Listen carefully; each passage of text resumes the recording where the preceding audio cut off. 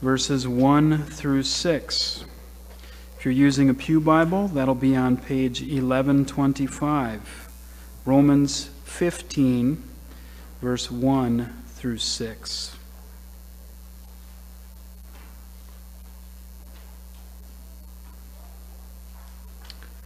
We who are strong have an obligation to bear with the failings of the weak and not to please ourselves. Let each of us please his neighbor for his good to build him up. For Christ did not please himself, but as it is written, the reproaches of those who reproached you fell on me. For whatever was written in former days was written for our instruction, that through endurance and through the encouragement of the Scriptures we might have hope. May the God of endurance and encouragement grant you to live in such harmony with one another in accord with Christ Jesus that together you may with one voice glorify the God and Father of our Lord Jesus Christ. This is God's word. Amen. Mr. Joel, and the words of encouragement that you bring through the reading of the Word of God and sharing from the Word of God. Remember that it's not the clouds around us may be thick, but we focus on Jesus. Thanks for reminding me of that. And thank you, worship team. Every week you bring joy to my heart. You lift up Jesus, and that is the main thing. So I'm so blessed by your work, by your ministry of music and and I hear you pray and you want to serve Jesus. What a joy it is to serve with you. The And all of you who serve Christ, you serve Christ in many, many ways, and we're thankful for that. There are things that go on that are unseen, and those are certainly appreciated to the glory of Jesus. We are thankful for our ministry continuing. We have uh, Sunday school for young people uh, in library, and Al will be teaching, and I'll be leading in chapel, and the focus is on apostasy and God's desire.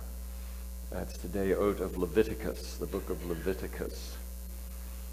The after we get done with Romans, we're going to do a, a series, a brief series, before we deal with Mark, and then we will come to Jeremiah, the ten things Jeremiah has for us.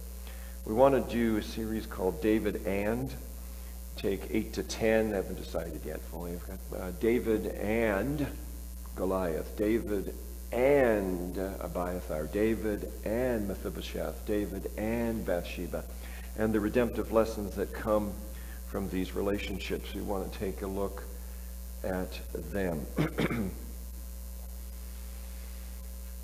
Today's focus Romans 15, 1 through 6. Some of your Bibles may have 7 attached, but um, it would appear that it is best attached to verse 8. So we'll end at verse 6 for this message.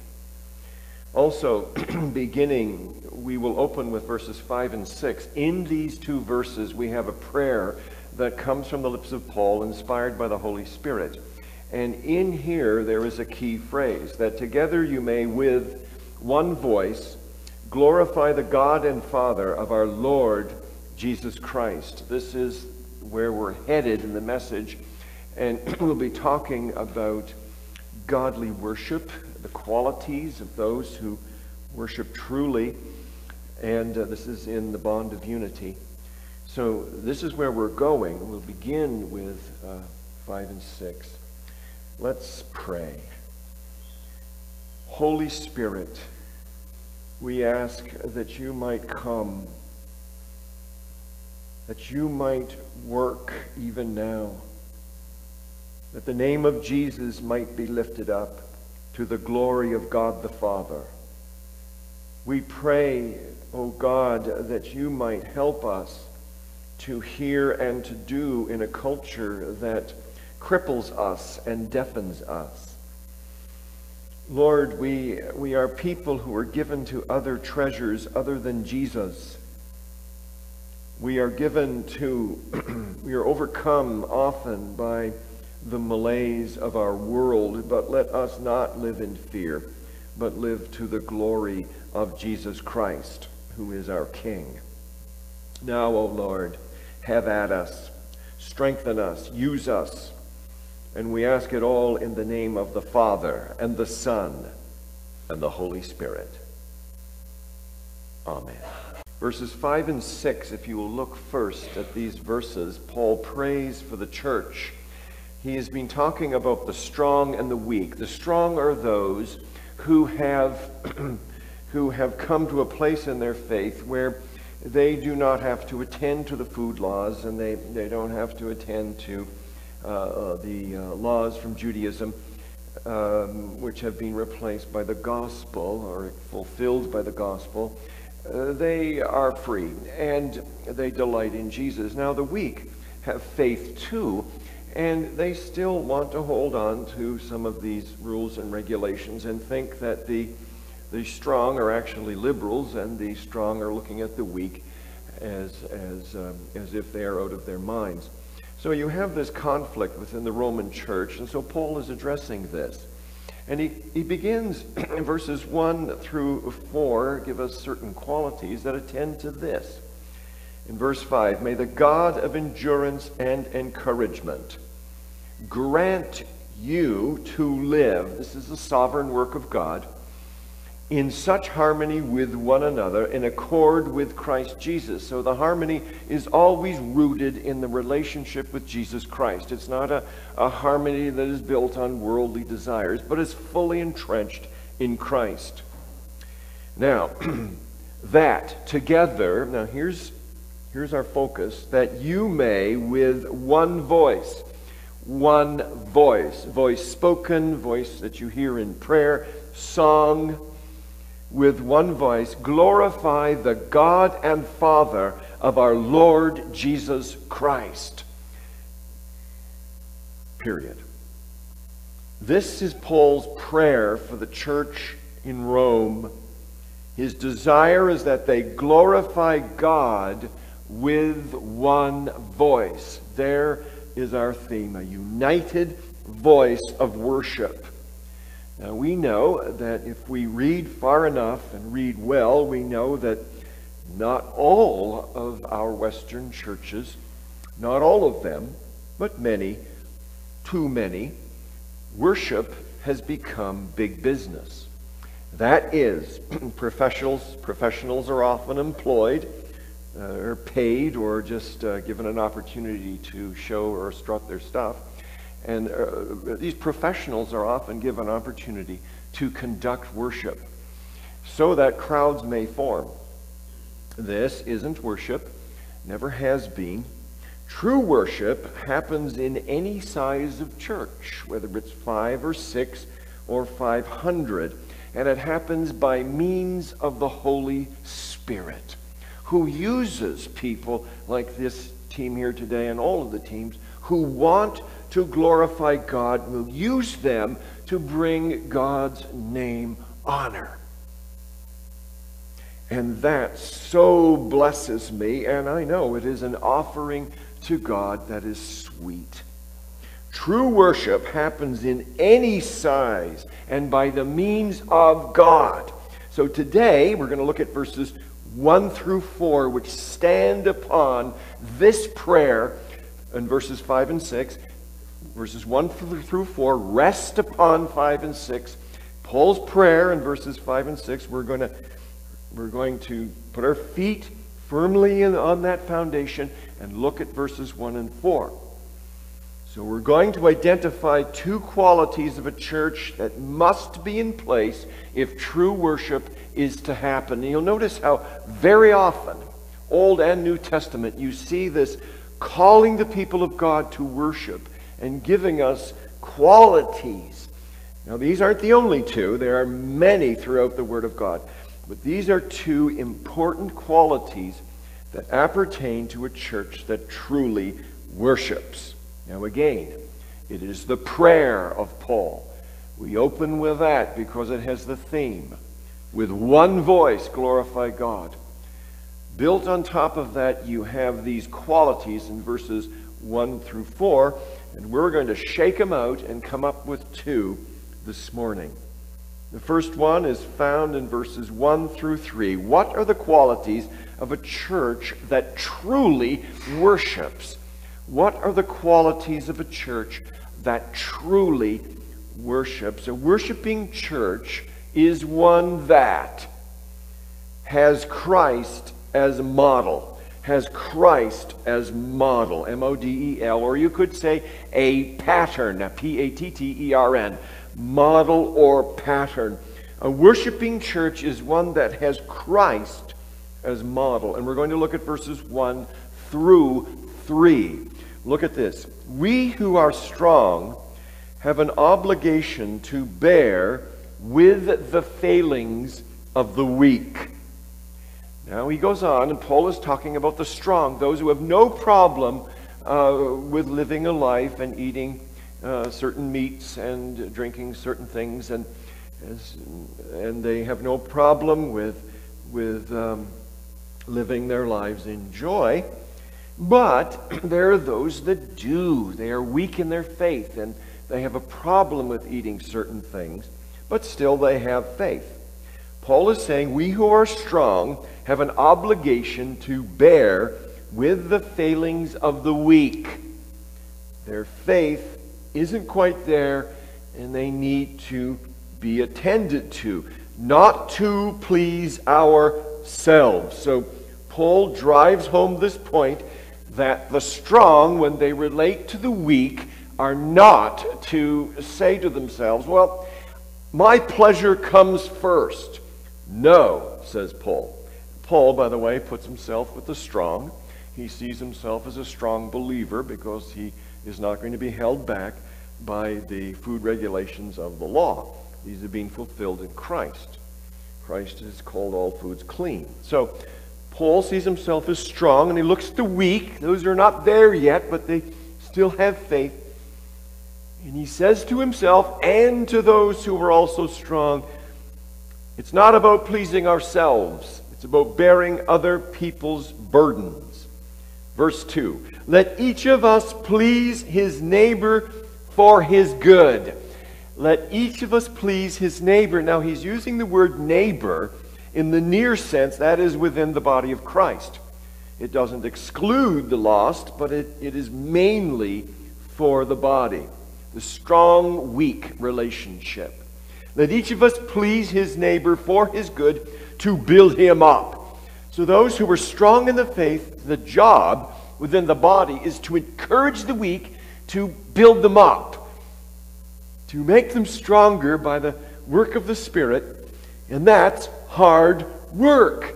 So the strong are to come to the aid of the weak and encourage them to grow in Christ. That is their aim, or it ought to be. Paul is emphasizing.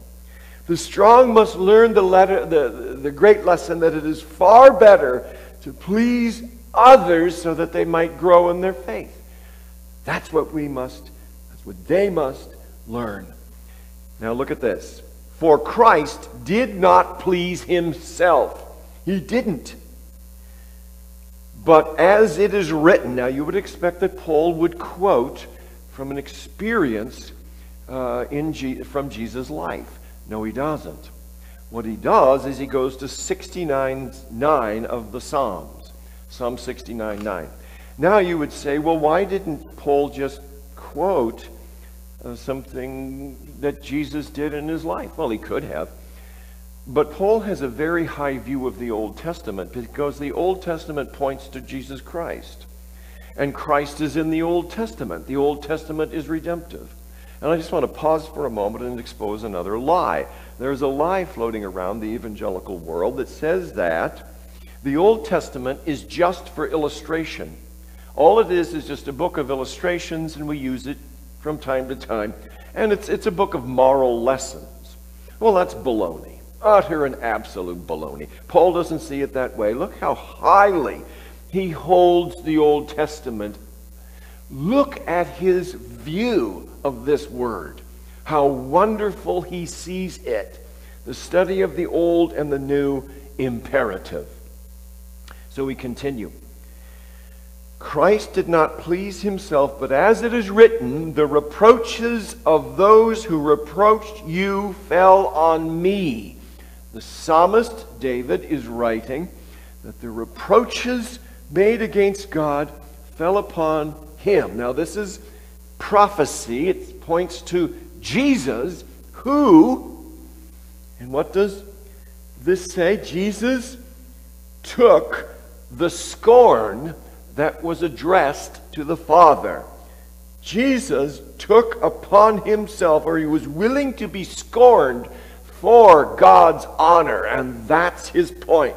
Paul is saying Jesus was willing to be scorned, even though he didn't deserve it. He took it on in any case so that God might be exalted and we might be set free.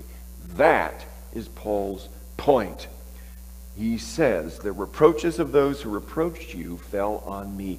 That is what Christ did. He did not desire for himself, he desired for the glory of God and ultimately for his people, like us sitting here today who trust in him.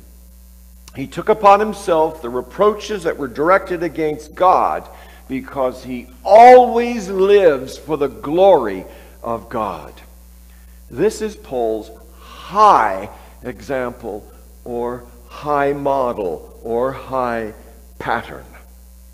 The strong are to take this as their example. Now, we know in, in the modern world that we don't have, in our church, we don't have weak, strong in the sense of uh, food laws. That is to say, some engage in food laws and others don't. We don't have that. So we will apply this truth generally to our situations. And one way to do that is simply to say this. We must, as strong believers in particular, who have a mature faith, we must help others in the body who do not. We must, in general, now the weak aren't off the hook here, too. It's just looking at the relationship of weak to strong. But in general, the application to the body is let us look to the interests of other people. Let us look to building up other people and not look to our own passions. A worshiping church is one wherein Christ is the model for us or our pattern. We want to be like him in that we desire to build up other people and not to attend to our own passions. The strong are particularly to be involved in this with respect to those who are not yet mature in their faith. So it has general application. Yes, strong to weak, not in the same sense as it was here, but in the sense of maturity and lack of. But also, everyone is accountable here too to build up others even at the expense of ourselves, not attending to our own pleasures, but attending to building up others. Our lives are to be given to bear the burdens of, uh, of others for their benefit and for the glory of God. This is the model of Christ. He is our pattern. We say in summary then, a worshiping church is one that has Christ as model, as pattern. Why? Because he did not attend to himself, he attended to the glory of God and to the benefit of people like us who profess his name. That's what he did. He chose to build up and not to attend to his own pleasures. And that is the that is what Paul is driving at in a nutshell. A worshiping church is one that has Christ as its model. Now, here's an illustration. Many of you sew. You go and you buy fabric and you take it home. And as my wife tells me, sometimes you have to wash it. And then maybe, I don't know, maybe you'd iron it or something. And then you buy a pattern. And it's, I don't know, it's a, a parka from Canada or something you want to make. And you take your pattern, it's that thin paper. I've never made anything. To my own shame, I haven't. I didn't even make this shirt. Looks like it, but I didn't.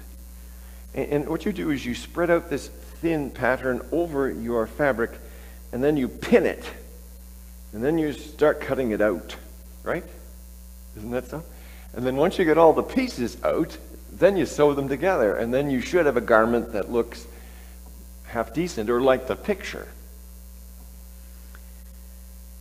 Well, consider this. Each day, a believer should carefully place the pattern of Christ over the fabric of our lives, wrinkled though it is.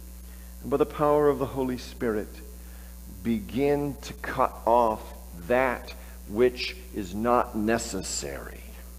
Christ is our pattern. We chop off those things that distract us, or that would say to us, Your treasure is something like pleasure number one, two, or three, instead of Jesus.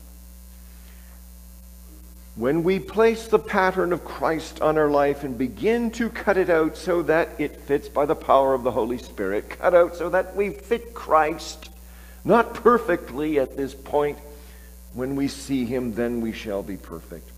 But when we place his pattern on his on our lives and cut it out, that which should not be there is gone and will not affect us and take us away from the truth that we are called to please others, the strong to the weak, and even strong and weak. We are called to build up others, not to seek out our own pleasures. That was Christ and is Christ, and it must be our model. Every day, place the pattern by the Holy Spirit place that pattern, that is Christ, upon our lives and cut off that which is not necessary because it will distract us from our purpose. Carefully and prayerfully place his pattern on our lives. Then, by the power of the Holy Spirit, cut and fit. And then our garments will be those that will draw the attention of God instead of turn him oh, of turning him away. A life given to the honor of God is a life given to worship.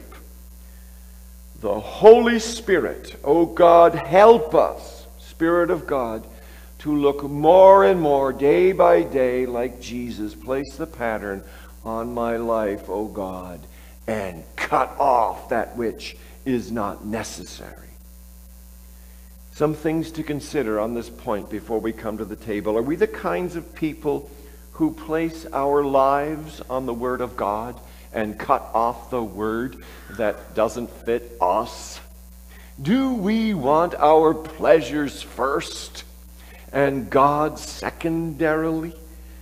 Do we place our lives on the Word and cut off so that we feel better? Ah, now I feel better. Yes, yes, oh God, you are calling me to imbibe in my pleasure. That is our culture. We are a pleasure saturated world. Oh, yes, I'm so glad that I've now found in the Bible uh, that these verses don't apply to me anymore, that I can just imbibe in my pleasure, and who gives a hoot about anybody else. Uh, am I that kind of person? I must say that there are days, yes.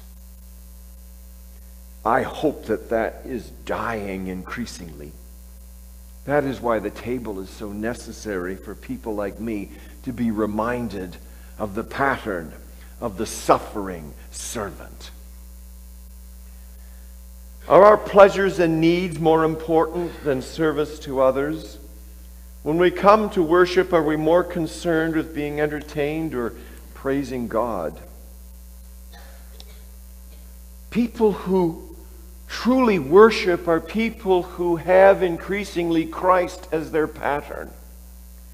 And by the ministry of the Holy Spirit, that pattern is impressed daily moment by moment upon the fabric of our lives, and that which is not important is cut off. That which shouldn't be in the picture is gone, so that I might glorify God. If you are mature, then seek to encourage the immature. And both mature and immature, let us seek to help one another, not desiring to build to grasp our own pleasures, but to release them so as we might help other people to grow in Christ. And yet there is another answer here. A worshiping church is one that has Christ as model, but a worshiping church is one that has word as motivator. Has word as motivator. Listen to this verse. Verse 4. For whatever was written in former days in the Old Testament, that is, in the days of Isaiah, was written for our instruction that through endurance and through the encouragements of the scriptures we might have hope. Given the shortness of time, I'm just going to squeeze this together. A worshiping church is one that has Christ as model and word as motivator. That is to say, the Old Testament was written, and these two words are to be taken together. Some try to separate them off. That might be so, but the, the Greek seems to favor this that through endurance and through encouragement of the scriptures we might have hope. And that's eternal hope, the coming of Christ, the establishment of the kingdom, our eternal life with Him, that hope. But it is when we read the Word of God our endurance, and our strength increases, and our encouragement increases. That is, our comfort in the midst of trial increases. Believers receive endurance or strength, encouragement or comfort from the Word to continue in a life that honors God. The purpose of the Scriptures is that believers should have hope Hope is generated by carefully reading, understanding, studying, and applying the very Word of God. What this is talking about is that a believer or believers who want to worship God must be soaked in the Word of God. Soaked. Now, I was reading, as I am wont to do, here and there, and I know you, you guys love to read too. And I found this. This is a re- recipe on Torah truths. Since we're talking about food laws, I thought it might be interesting to see what's going on. Uh, Passover lamb recipe. There's a Passover lamb recipe, and since I like crock pot cooking, some of you probably don't like crock pot cooking. But if you want help with crock pot cooking, just ask me, I can help you. There's one called Passover lamb recipe. And one aspect of the Passover uh, lamb recipe is intriguing. They say to take the uh, lamb that is to be roasted and you soak it for a season so that the impurities come out. Isn't that interesting? You soak it in this, this solution that is identified here, and, and you, you soak it there so that the impurities fall out of the meat. Makes sense. And then you, you do what else you have to do, and you prepare before cooking, and then you're off to the races in the Christian life, what the Word of God does when we read it, when we study it, when we pray it, when we think about it, when we go about our day and ponder the Word of God, when we memorize it, when we hide it in our hearts, when we do this, as Paul is, is saying here, we, when we're soaked in it, it tends to remove impurities, if I may say, such that when we come to worship, we are thinking about Christ, and verses come to mind. When, when, when, the, uh, when the PowerPoint comes up, there's a picture, and I uh, seeing pictures, and sometimes verses will come to mind. Ever had that happen? And, and the, the, the team is singing, and they'll reference a verse, and that brings up another picture in your minds and hearts.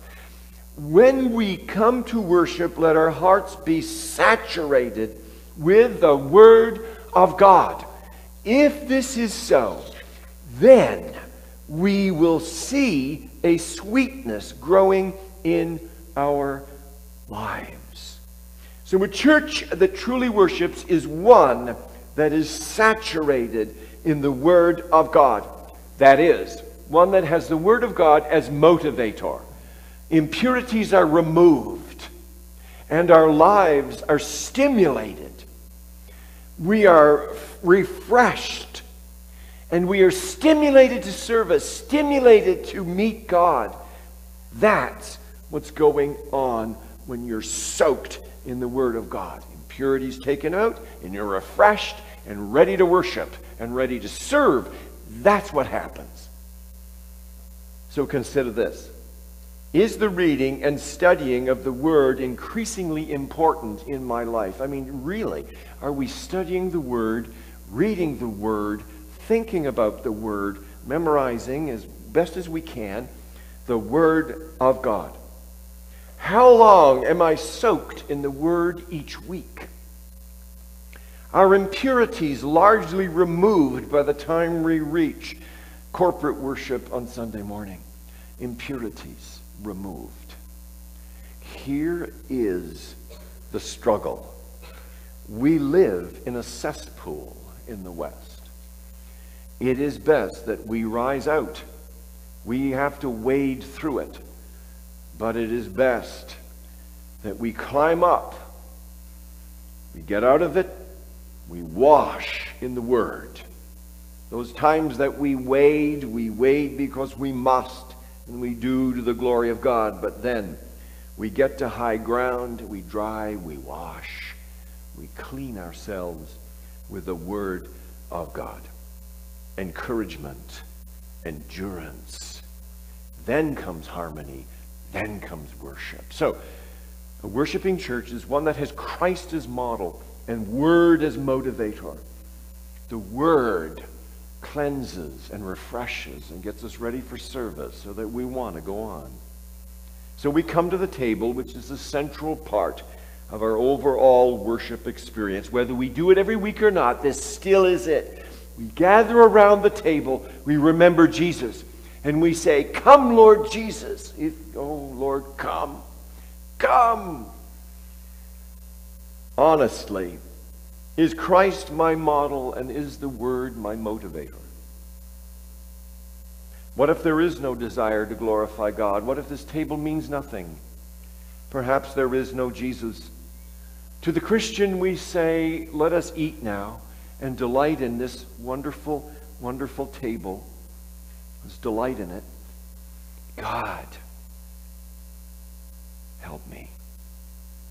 Give to me the attitude of worship.